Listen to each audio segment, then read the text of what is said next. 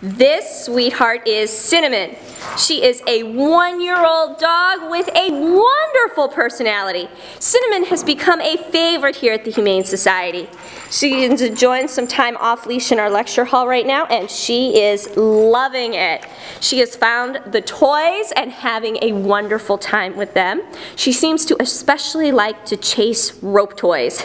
She's looking for an active home, someone that'll buy her some toys of her own, teach her, fetch her frisbee in a big backyard, or maybe just take her for nice long walks. Cinnamon does walk pretty nicely on her leash, and she likes to smell and sniff and explore everything.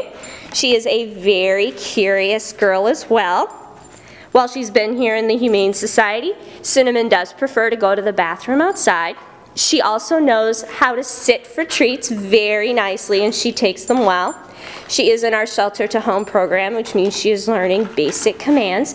Besides sit, she also knows wait and down.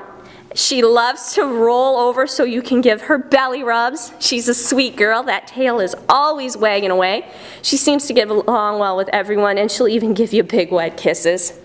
In addition to shelter at home, Cinnamon is also in our dog-to-dog -dog socialization program. She is learning how to interact with other dogs and she is doing a great job at it. She loves to play. Just a very sweet girl.